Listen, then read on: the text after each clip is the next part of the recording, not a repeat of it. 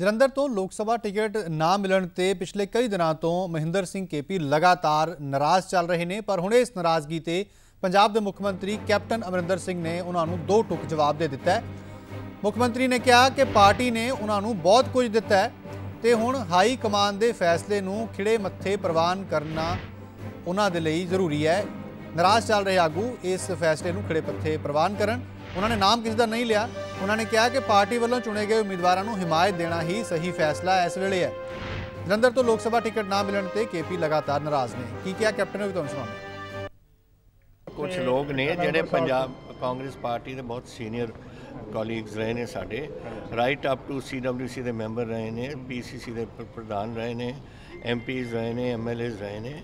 Party ਨੇ ਉਹਨਾਂ ਨੂੰ ਬਹੁਤ ਕੁਝ ਦਿੱਤਾ ਹੈ।